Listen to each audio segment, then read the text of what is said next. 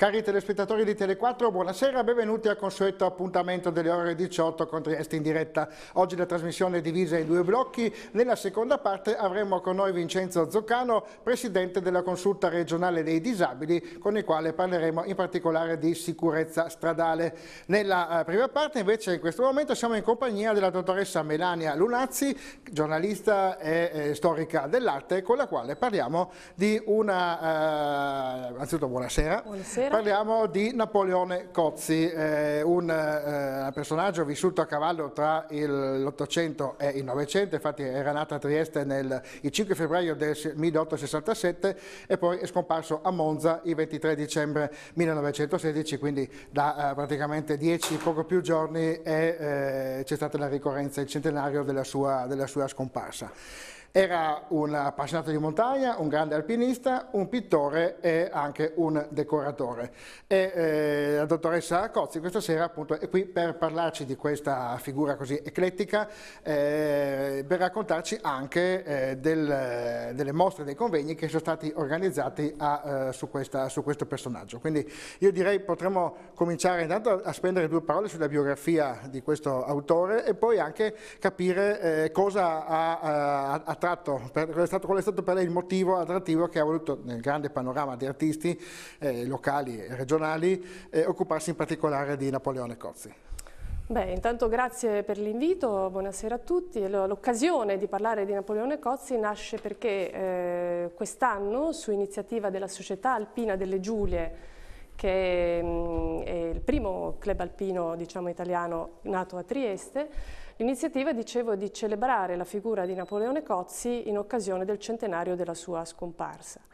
E perché l'iniziativa nasce da parte della Società Alpina delle Giulie? L'iniziativa nasce perché la Società Alpina delle Giulie custodisce presso i propri archivi eh, tre dei taccuini di acquerelli realizzati da Napoleone Cozzi. Eh, come lei giustamente ha detto, Napoleone Cozzi nasce come pittore, non era triestino, nasce a Trieste ma era di origini eh, friulano, era di Travesio, suo padre faceva il fabbro eh, e poi va insomma, a scuola di disegno e diventa poi allievo di Eugenio Scomparini, fa la scuola del banco modello. Quindi prende la strada del pittore, del decoratore e infatti una serie di suoi lavori giovanili eh, con disegni, esercitazioni eh, di decorazioni eh, a forma di fiori, di rami, caratteristiche dell'età Liberty, sono custoditi al Museo Revoltella di Trieste, insomma è un, un fondo consistente di Napoleone Cozzi. Napoleone Cozzi si definisce proprio eh, pittore fin dall'età di 14 anni, eh, però diciamo che la sua attività come autore di dipinti da cavalletto non è, eh, non è, è tutta da riscoprire. È più nota invece la sua attività come decoratore, fu decoratore di teatri, fu decoratore di diversi caffè triestini, tra cui il eh, famosissimo caffè San Marco, eh, molti altri caffè eh, scomparsi come il caffè Firenze, sempre Trieste, il teatro di Pirano, il teatro di Pisino, fino uh, a Spalato, ma molte appunto di queste decorazioni sono purtroppo scomparse, quindi eh, sa salvo alcune sopravvivenze non, non, si conosce molto. Quindi diciamo lui ha fatto anche della sua arte anche un mestiere per poter poi eh, avere un, un guadagno e poter vivere anche quindi esatto. facendo il decoratore. Ecco, come tecniche lei ha parlato degli acquarelli, ha detto che invece le opere su tela, quindi immagino olio o, o tempero, insomma quelle che sono i, eh, i colori, le tecniche che vengono utilizzate sono da riscoprire. Lui appunto si afferma come acquarellista o la sua opera comunque, eh, al di là dell'aspetto appunto di decoratore per eh, locali eccetera, eh, ha spaziato su, su, varie tecniche? Diciamo che la sua attività di acquarellista è un'attività che è iniziata eh, come, come mh, come hobby, come tempo libero ed era legata alla sua attività di alpinista. Quindi eh, un'attività tra l'altro che essendo lui un grandissimo sportivo faceva parte, faceva scherma, faceva canottaggio, faceva corsa, a un certo punto della sua vita scopre la montagna, la scopre attraverso i contatti con eh, la società alpina delle Giulie che si chiamava Società degli Alpinisti Triestini e in questo modo inizia anche a, a veicolare questa sua capacità disegnativa attraverso questi taccuini, questi albi, li definisce così, eh, alcuni dei quali ci sono fortunatamente rimasti. Noi ne conosciamo ad oggi sette, Tre di questi, come dicevo, sono custoditi alla Società Alpina delle Giulie, uno molto molto grande con tantissimi acquerelli, più di 150, è ai Civici Musei di Trieste e eh, un paio sono, tre tre scusate, sono in collezioni private. Certo. Due ultimamente scoperti, proprio di recente nella collezione Scaramanga. Certo, quindi diciamo che la sua è un'attività uh, che nasce un po' così come autoreferenziale, cioè lui piaceva magari salire in qualche montagna lì, iniziare magari a dipingere quello che vedeva, però per una sorta di soddisfazione personale non aveva, diciamo così, come per il resto moltissimi pittori che poi invece sono stati celebrati, sono diventati famosi e le cui opere hanno avuto anche poi un mercato, eccetera, ma diciamo che la sua era un modo per così esprimere quello, le, le, emozioni che probabilmente la, la montagna gli gli, offriva di Certo, una parte le emozioni, ma una parte proprio era documentare eh, volontariamente l'attività della squadra volante. Era così che si chiamava questa, questo gruppo di alpinisti che lui aveva messo in piedi appunto all'interno della Società Alpina delle Giulie, eh, che si chiamava così in contrapposizione alla cosiddetta squadra pesante, che era la squadra dei eh, camminatori, dei semplici camminatori, mentre invece eh, Napoleone Cozzi con i suoi compagni eh, di gita, di scorribande, diciamo così,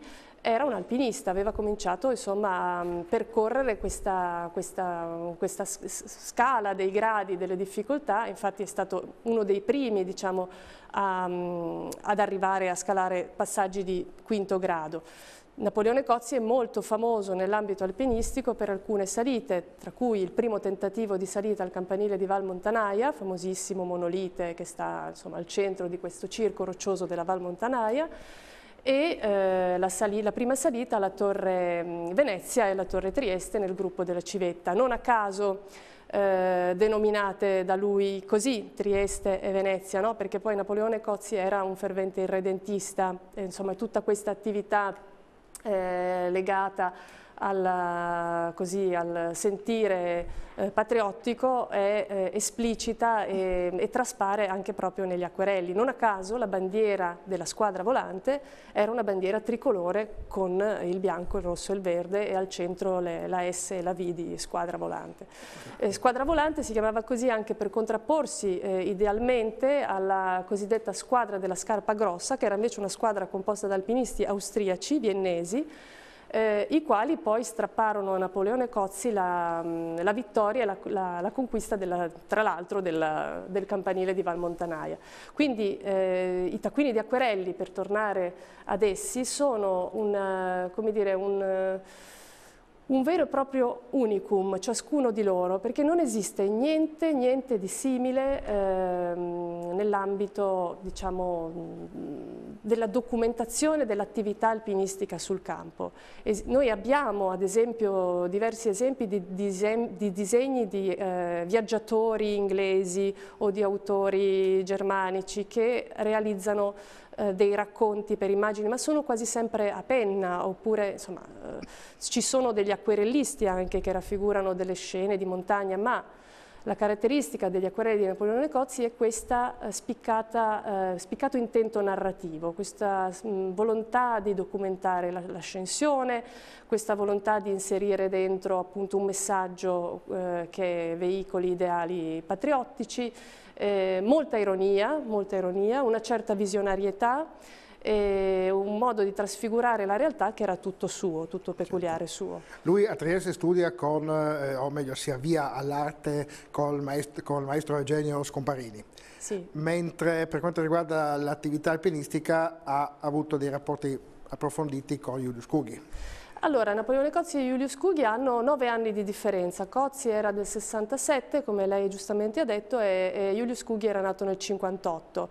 Si conoscevano, erano amici, c'erano delle eh, c'erano dei contatti, si scambiavano delle lettere, lo stesso Napoleone Cozzi ne riceve alcune quando mh, viene ehm, incarcerato per il famoso episodio delle bombe, su questo ci sarebbe da raccontare tantissimo, ehm, quindi erano amici e si scambiavano notizie sulle, sulle reciproche ascensioni.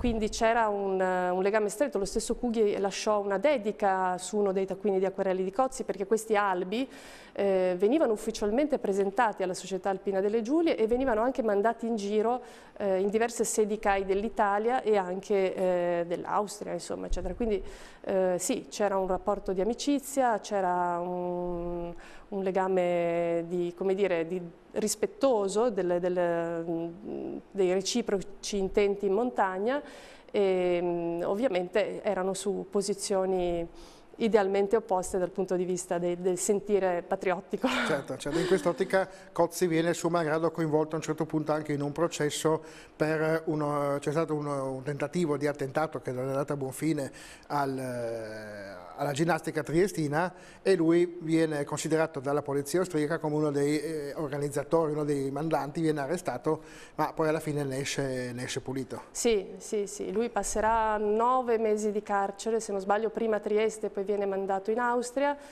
Eh, questo è tutto documentato attraverso delle, delle pochi, dice? Mhm. No, no, dicevo Trieste era Austria, quindi viene mandato a Vienna. Sì, sì, viene mandato a Vienna, certo, era Austria.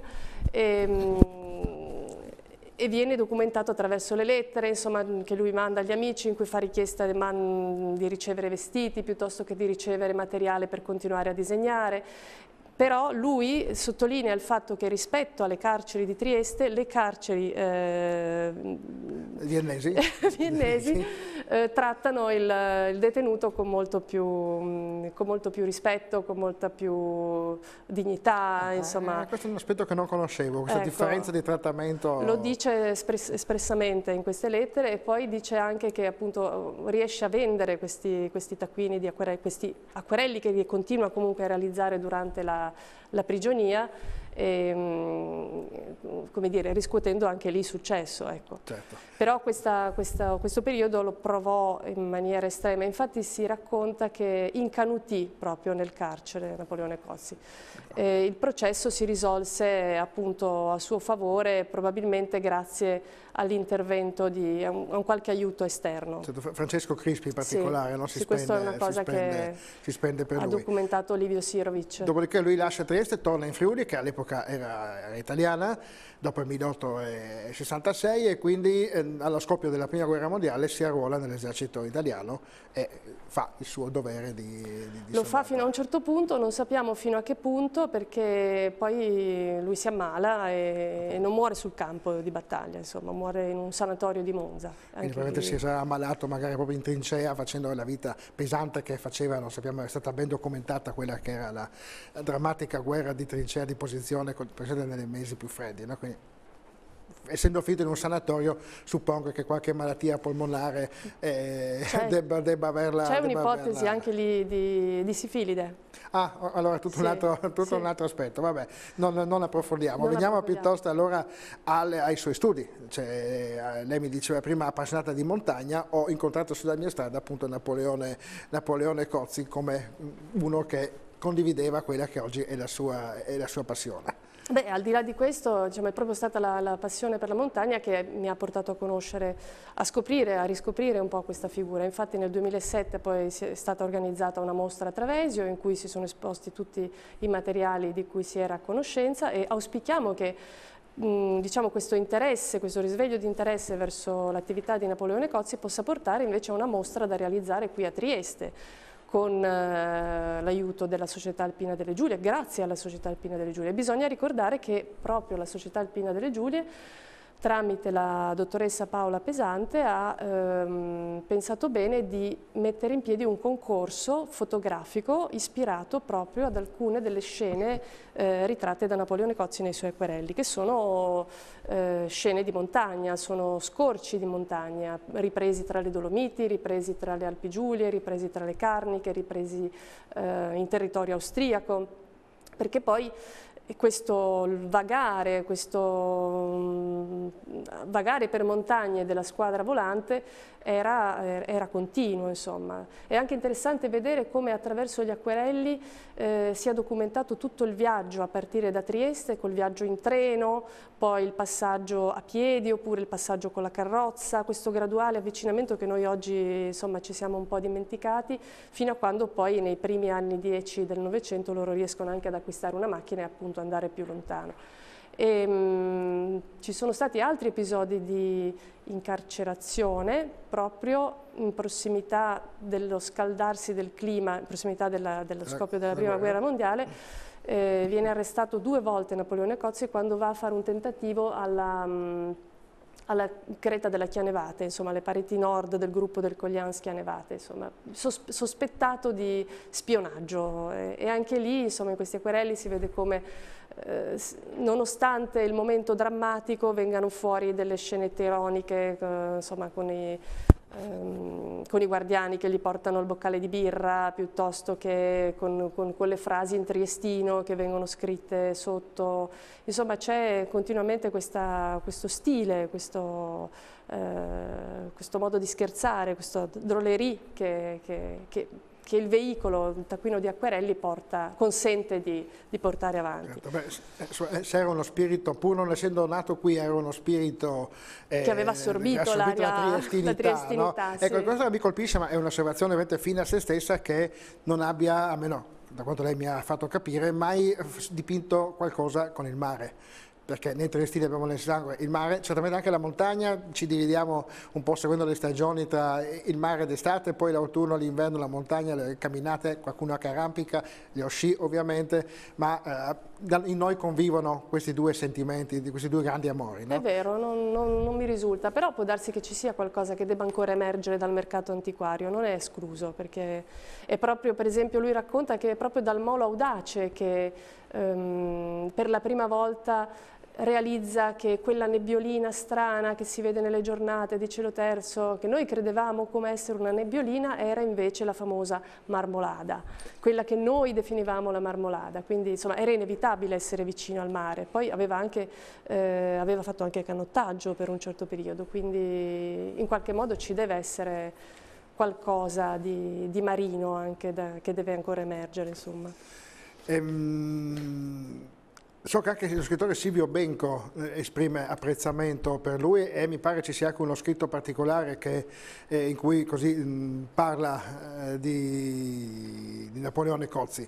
Mh, mi pare che lei abbia portato così un, un pezzettino di quella che sì, viene lei mi, descrizione. Un, in realtà è un pezzo molto lungo, è un bellissimo Beh, ritratto ne... che fa Silvio Benco. Lei mi fermerà quando, quando sì. è troppo lungo perché è veramente brillante. Lo leggo e dice Benco, no, eh, non ho forse conosciuto mai, né forse c'è stato mai a Trieste un uomo che, come lui, sprizzasse attività e vitalità e in tutto quello che toccava mettesse qualche cosa del tesoro di fosforo che c'era dietro i suoi occhi scintillanti, nella sua spensierata testa ricciuta. Un uragano di festosità era la sua giovinezza. Napoli, Napoli era il suo nomignolo e scattava qua e là come una saetta, il piccolo uomo più svelto e multiforme che Fregoli, più gioioso d'un vero napoletano, col bastone di ferro del ginnasta, con la spada del maestro d'armi, con la decorazione del maestro di quadriglia, con la chitarra, con gli scarpetti dell'alpinista, col camiciotto del pittore, eccetera, eccetera, eccetera. eccetera. È veramente un ritratto molto bello e accurato, perché Silvio Benco ha seguito Napoleone Cozzi in tutta la sua attività. E, tra l'altro studiando questa figura, insomma, all'epoca quando abbiamo realizzato la mostra assieme a Matteo Gardonio, che è un bravissimo giovane ricercatore, durante le ricerche d'archivio è emerso appunto che eh, Napoleone Cozzi è, è l'autore delle decorazioni del nuovo frenocomio di Trieste. Sono arrivate anche delle conferme in merito al fatto che eh, aveva realizzato anche le decorazioni, un progetto di decorazione per il villino di Giuseppe Caprin. Quindi era eh, questo, all'epoca era conosciutissimo, Napoleone Cozzi era famoso anche perché realizzava dei, dei, disegni per i carnevali bellissimi, delle scenografie per i carnevali molto belle e questo è documentato per esempio nell'archivio della Società Ginnastica Triestina dove c'è tanti, tantissimo materiale fotografico che riguarda Napoleone Cozzi con tutti questi uomini e donne travestiti da orsi, con il carro degli orsi, e quindi la sua attività era effettivamente multiforme e lui era molto conosciuto. Ecco. Poi è stato eh, l'ispiratore, colui che alla fine ha avviato all'interno della Società Alpina delle Giulie quella... Mh, mm, eh, quello spirito alpinistico prettamente triestino che poi è stato ripreso da, da Emilio Comici no? come, come figura eh, ispiratrice, cioè c'è questo segno di continuità che va avanti attraverso di lui. Certo, sto, sto, vedendo che il 19 ottobre 1930 la Società Alpina delle Giulie intitolò a Cozzi un rifugio un, sul Tricorno, sul Triglav, qui eh, oltre confine, sì. a 2150 metri, che però successivamente, dopo la seconda guerra mondiale, venne ribattezzato Trisciasca, con, Coccia, esatto, sì. eh, rifugio eh, dei triestini nella traduzione italiana. Mentre a Trieste c'è una via dedicata a lui che porta il suo nome, San Giovanni, eh, dedicatagli nel 1956.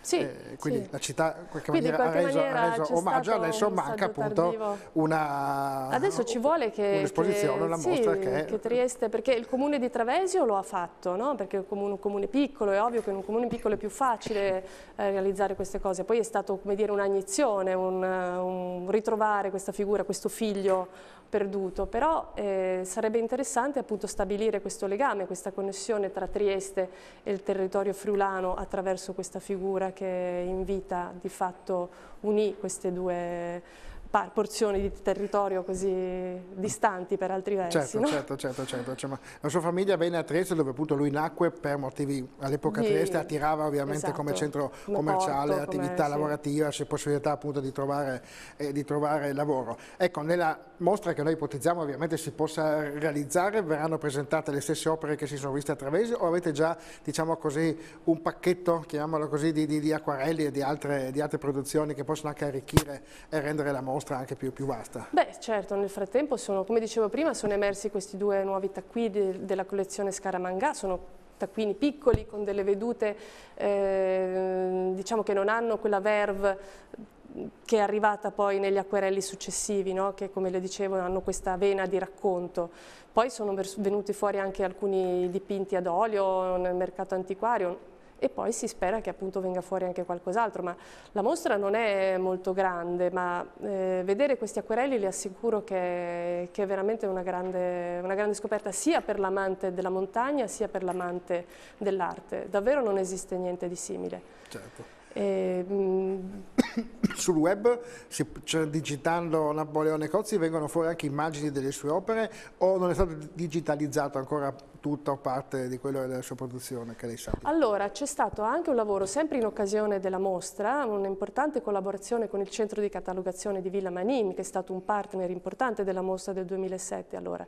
E allora facemmo questo lavoro accurato di documentazione di tutto, quindi è stato tutto fotografato e tutto documentato e custodito al centro di catalogazione di Villa Manin. Sul web se ne trova una parte, se ne certo. trova una parte che ovviamente è in circolazione Chiaro, però diciamo che se uno non avesse eh, mai visto un'opera di, di, di, Napoleone Cozzi, come anch'io credo di, adesso la mia memoria non, non, me ne viene in mente, non riesco a raffigurarne nessuna, se vado sul web magari eh, qualche immagine che sì. mi dia un po' l'idea appunto de, de, della mano così e dei soggetti che lei ha comunque sì. con molta eh, adesione alla realtà descritto e me la posso intanto fare. In certo, soprattutto che... per quanto riguarda gli acquerelli più famosi che sono quelli del campanile di Valmontanaia, quelli si trovano facilmente e non sono tantissimi però anche lì si vede, ecco per esempio, no, è documentato, dicevo prima della tecnica alpinistica, no?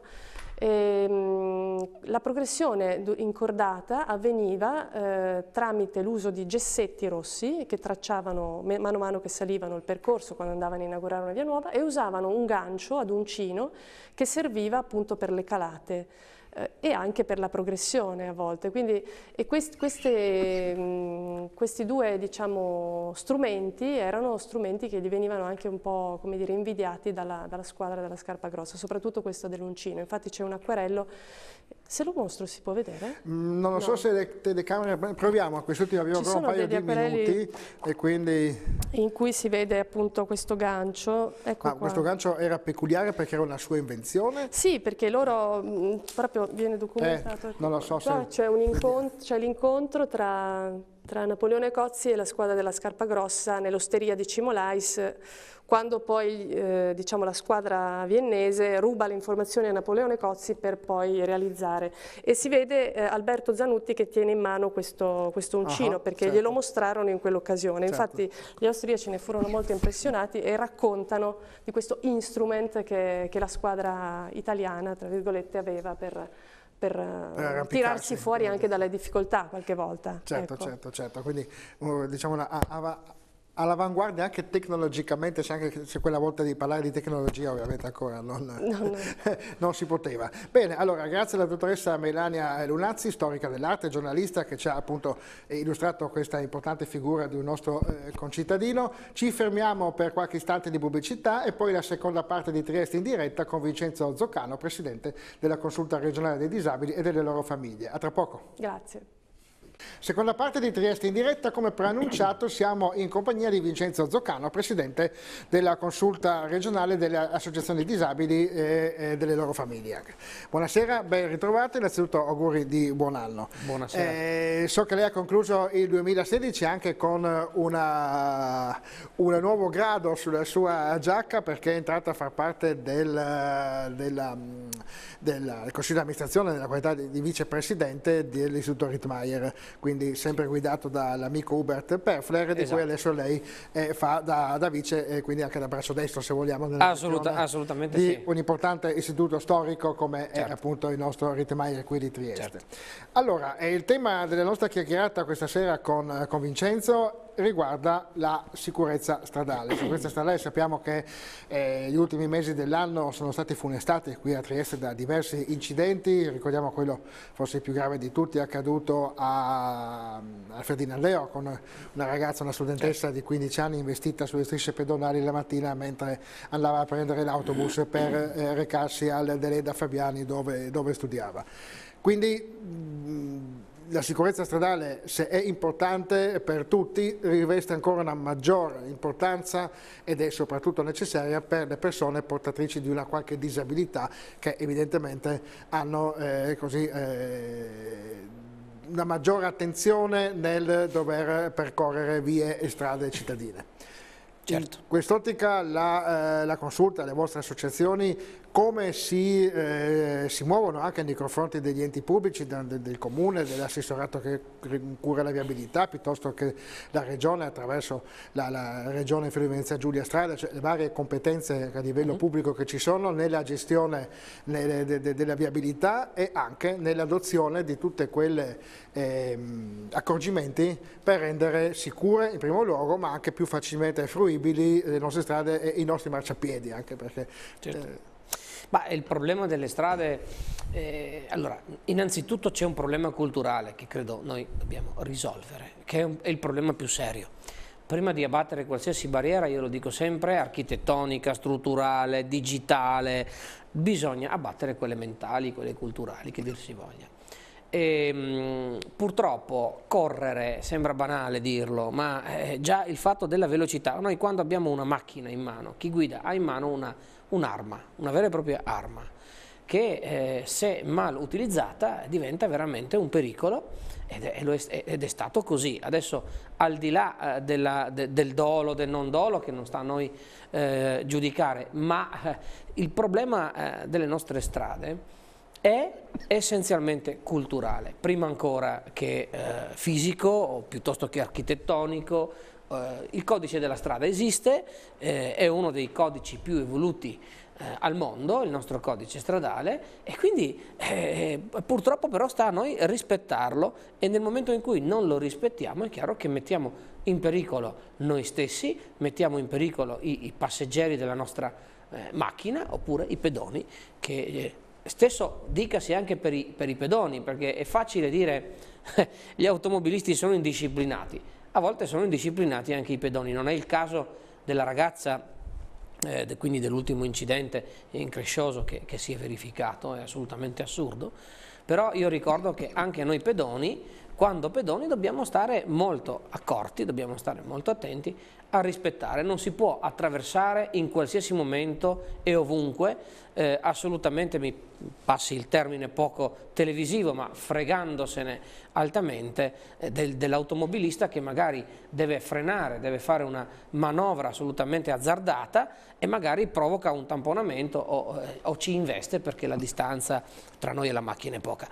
Se questo è valido, questo ragionamento è valido per tutti gli altri, come diceva lei all'inizio, eh, lo è tanto più per le persone con disabilità. E pensiamo a, a, un non vedente che eh, attraversa la strada, ad esempio. E oggi davvero in alcuni punti della nostra città è diventato impossibile, vediamo le, le, rive ad esempio, attraversare i semafori sulle rive è diventato quasi impossibile per un non vedente. Quando poi questi semafori sono anche, non sono dotati di segnalazione acustica a chiamata come eh, la norma prevede, eh, diventa veramente impossibile. Uno dice, beh ma tanto il disabile è sempre accompagnato da qualcuno. No, non è così. Il disabile deve poter circolare in autonomia e sicurezza. Questa, la nostra eh, Trieste è una città civile, molto civile e quindi ecco, dobbiamo cercare però di renderla civile per tutti, non solo per le persone con disabilità o per certe categorie. Eh, e basta poco, dottor Scaramucci, per rendere davvero il mondo a misura di tutti, perché dove vive bene una persona con disabilità, poi alla fine della fiera certo, eh, vivono certo. meglio tutti. Ecco, Trieste, io so che, eh, anche perché mi è capitato anche di attraversarci, ad esempio a Barcola, incrocio via Boveto, il grande sì. eh, semaforo pedonale che attraversa tutto il viale sì. Miramare, all'altezza del Saturnia per intenderci, certo. c'è anche la segnalazione acustica sì. per, eh, appunto, che avvisa l'ipovedente di quali sono i tempi a disposizione per poter raggiungere l'altro marciapiede. Certo. Questo tipo di sistema è diffuso, non è è ancora però diffuso in tutti i semafori a Trieste. Diciamo che eh, la manutenzione prevede, l'accordo prevede che tutti i semafori che eh, vengono via via via, via sostituiti, manutenuti, venga poi sostituita, la, eh, venga installato il dispositivo mh, acustico. E poi si rivela curiosamente anche, anche, per gli altri poi diventa utile perché insomma sentire il segnale intermittente del, del giallo aiuta anche chi vede benissimo tante volte no? Quindi è, è, un qualcosa che sicuramente giova poi eh, alla fine a, tutti noi. Eh, quindi è importantissimo, è importantissimo cercare eh, tutti insieme, facendo rete, facendo sistema, noi abbiamo un tavolo aperto come consulta territoriale con il Comune di Trieste, un tavolo trasversale, quindi che riguarda sì i lavori pubblici, riguarda la viabilità, l'urbanistica, riguarda eh, le politiche sociali, riguarda l'educazione, quindi ecco eh, l'amministrazione comunale di Trieste ha voluto eh, aprire proprio un dialogo permanente col mondo delle associazioni delle persone con disabilità, proprio perché si è giustamente accorta che ehm, noi siamo portatori di, interessi, di interesse e non, eh, non, siamo in contrapposizione, eh? non vogliamo esserlo, vogliamo collaborare affinché Trieste sia davvero la città di tutti, a misura di tutti.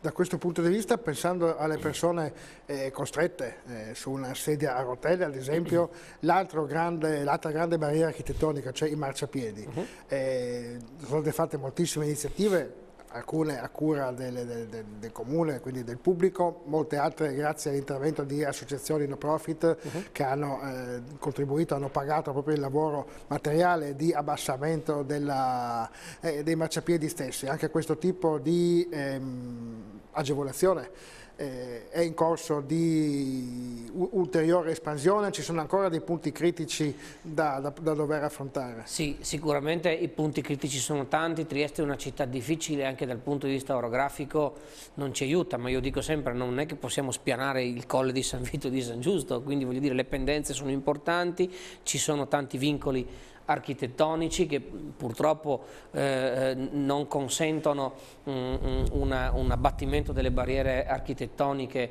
come in realtà si vorrebbe. Però ecco, tanto è stato fatto, pensiamo per esempio a tutte le rive, a tutto il borgo teresiano che insomma eh, lo, lo, stiamo, lo, stiamo, rendendo pian pianino accessibile, ci sono tutti gli scivoli sui marciapiedi, ci sono le segnalazioni tattilo-plantari per le persone non vedenti e ipovedenti, eh, si cerca sempre di studiare i materiali anche con i giusti contrasti cromatici e tattili, quindi è chiaro che non è che si può fare tutto in un batterdali, a noi piacerebbe ovviamente, no?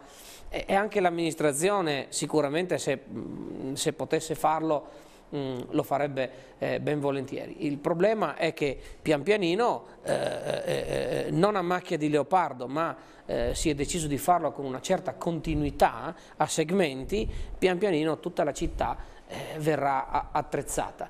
certo è che è un lavoro che insomma certo, non, non, da poco, no, non da poco, ci sono belle risorse economiche eh, da, da, da, spendere, ma insomma noi crediamo molto anche in progetti comunitari, adesso la consulta vuole farsi eh, portavoce e, e, e promotrice eh, di alcune eh, magari colle europee che magari potrebbero aiutarci, aiutare le amministrazioni comunali, regionali e la regione stessa a eh, eh ehm, catalizzare anche fondi comunitari qui eh, da noi in modo tale da eh, rendere sempre più le infrastrutture accessibili a partire anche dalle, da, dai marciapiedi. pensiamo quanto sia importante il marciapiede, deve essere assolutamente conforme alla normativa, ma perché? Perché anche oltretutto l'autobus la, per esempio che si accosta eh, e deve eh, eh, far calare la pedana, eh, se il marciapiede è troppo alto non ce la fa a, a, calare la pedana in maniera giusta e quindi la persona in carrozzina non può salire regolarmente certo. sul, sull'autobus e invece è, è, un suo diritto farlo. No? Certo, certo. Ecco, quindi ci sono tante le cose che, eh, che, sono tante le cose che vanno vagliate, vanno valutate in un'ottica certo. sistemica, non solo per chi non vede, ma anche per chi appunto eh, non deambula correttamente perché è costretto sulla carrozzina, per gli anziani. Quanti nonni noi abbiamo? In questa nostra bella città. Eh, I nonni per noi sono un valore, non sono certamente un disvalore, quindi diventare anziani significa da un lato essere fragili, magari fisicamente, qualcuno cognitivamente, però sono, eh, gli anziani sono un valore per noi, un grande valore che dobbiamo eh, assolutamente conservare, dobbiamo cercare di tutelare. Quindi eh, molti anziani, molti, molte persone fragili, molte persone con disabilità in questa nostra eh, bella città e che eh, la rendono bella anche loro, proprio con, con, questo, con, questa solidarietà, con questa sensibilità che dobbiamo avere nei, nei confronti di tutti. Certo. E anche va ricordato faccio riferimento anche a delle telefonate che arrivano la mattina nostra trasmissione Sveglia Trieste, no? dove eh, ogni giorno quotidianamente i nostri concittadini segnalano problematiche di varia natura, una di queste è riferita proprio a certi marciapiedi dove magari c'è il palo della In pubblica mezzo. illuminazione che rende eh, troppo stretto lo spazio che rimane fra il muro, fra certo. il palazzo che si affaccia su quella strada e eh, appunto il palo stesso e quindi impedisce il passaggio. Anche queste piccole cose andrebbero, eh, dovrebbe farsi carico l'amministrazione comunale e cercare di eh, trovare anche una soluzione diversa, dicono sì ma ogni tanto in alcuni casi proprio non è possibile fare diversamente, ma allora almeno dove è possibile. Dove è possibile che venga fatto. È possibile, certo. Invece... Pensiamo ai passeggini, la mamma con un passeggino, noi la costringiamo ad andare in strada mettendo in pericolo se stessa e anche, e anche il bimbo perché magari il, il, in mezzo c'è un palo, dall'altra parte magari c'è pure l'ombrello, quindi magari piove in quel momento, quindi non può passare fisicamente tra il palo e, e la parete dell'isolato e questa è costretta a, a certo, scendere in strada, certo, è assolutamente inammissibile. Ecco, per non parlare delle macchine parcheggiate sui marciapiedi in maniera eh, barbara. Però ecco, questo, con questa eh, battuta volevo introdurre un altro aspetto, noi abbiamo parlato di sicurezza stradale, ma c'è anche l'educazione stradale, no? che è molto importante. Eh, spesso capita che un disabile trovi il parcheggio a lui riservato occupato da una vettura che non ha alcun titolo per stare lì, eh, capita nei parcheggi diciamo così liberi nel senso che c'è l'indicazione parcheggio riservato ai disabili ma non è specificamente concesso a un, non c'è un titolare suo disabile, mhm. invece uh -huh. specialmente nelle zone residenziali certo. c'è anche sulla tabella verticale il numero certo. di targa certo. riferito, no? quindi eh, tu sai che prima o poi se anche quello spazio in quel momento è libero il titolare di quello spazio arriverà eh, certo. a, a casa, quindi mh, mettere la macchina lì diventa veramente... È, è, illegit- uh, allora, è illegittimo... illegittimo anche stupido a quel punto. Ecco, perché, esatto. Insomma, esatto.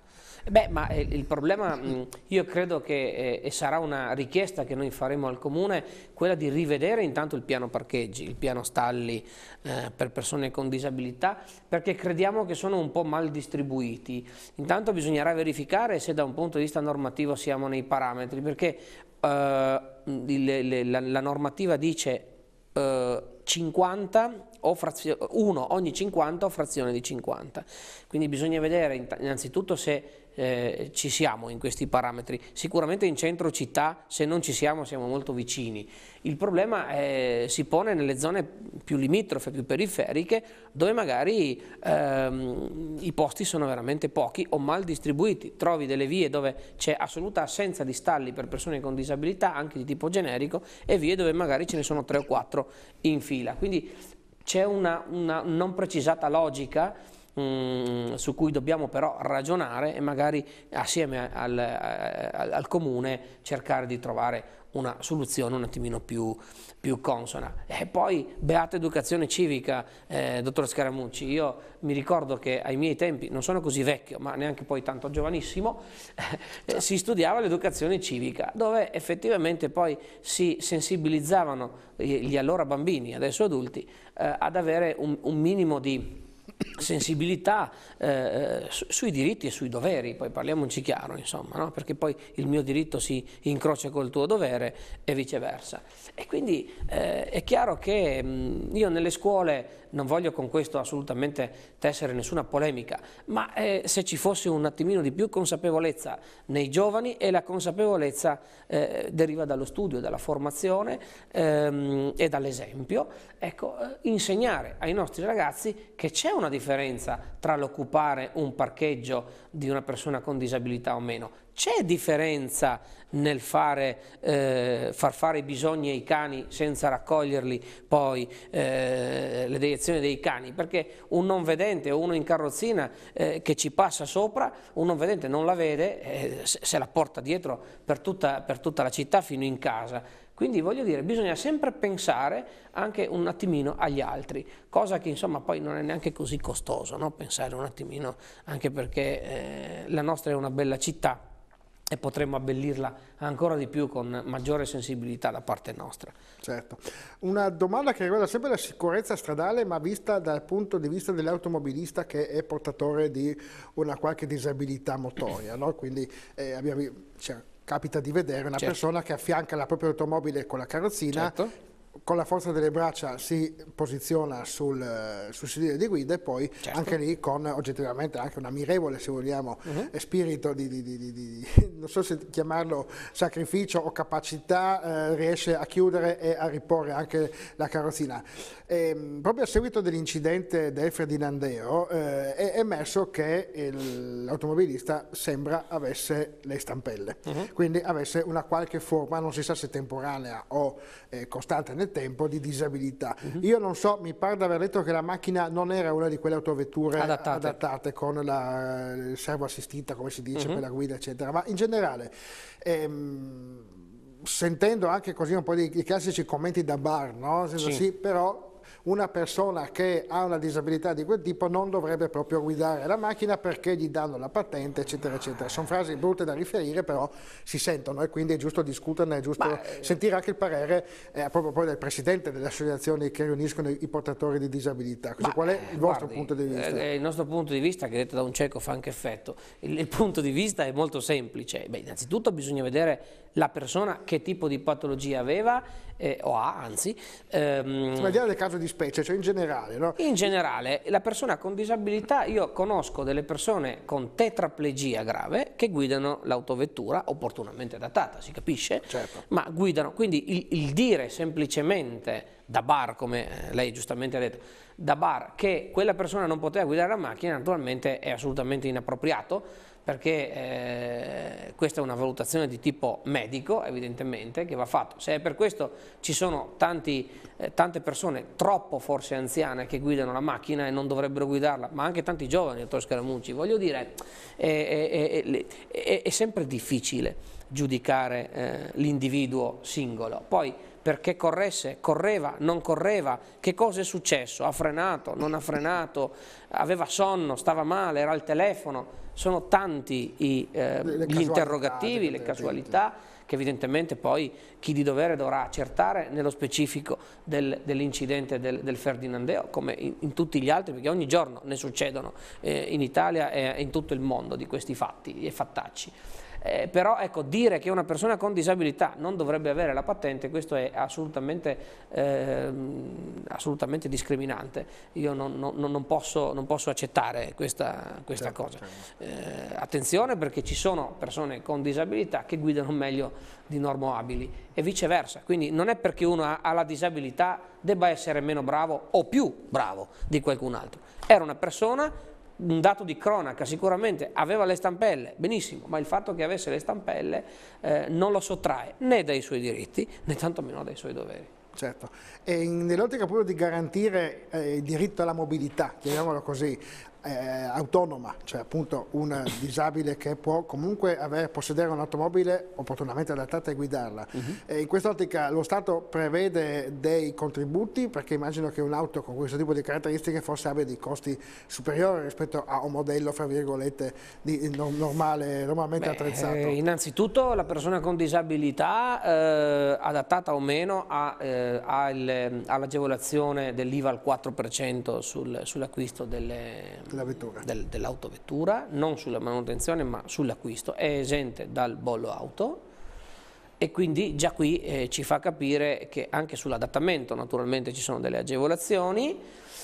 E, mh, mm, è chiaro, lo Stato, l'istituzione viene incontro a quella che dovrebbe essere come dire, no, un suo eh, tu Stato devi rendere eh, alle persone, dice la, la Carta Costituzionale, eh, la persona uguale a, alle altre e eh, quindi gli impedimenti in qualche maniera vanno, eh, vanno compensati. No?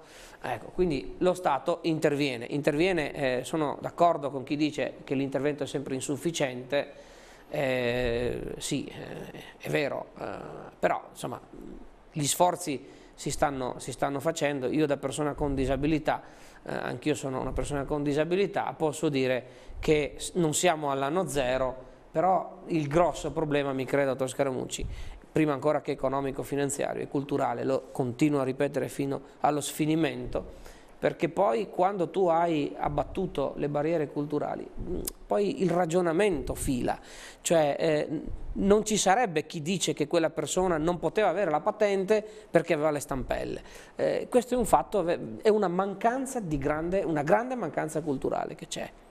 E quindi siamo sempre lì, il cerchio si chiude sempre sulla mancanza culturale. Io lo sottolineo e lo risottolineo. Ecco, in questo senso anche la consulta promuove tutta una serie di iniziative per in qualche maniera educare e diffondere la cultura della, del, del capire i problemi e eh, condividerli da parte di così dei, eh, non so mai come definirli, se normo, c'è una, so che c'è una parola precisa che identifica le persone non portatrici. Normoabili, normoabili. normoabili non mi veniva, normoabili. quindi c'è proprio la consulta ha anche questo tipo di, di finalità. Tra i compiti istituzionali della consulta c'è anche quello di promuovere la cultura eh, della, della, della, del, del, delle pari opportunità, perché le pari opportunità non sono solo quelle di genere, non sono solo quelle tra uomo e donna, sono anche quelle, ma sono anche quelle di condizione.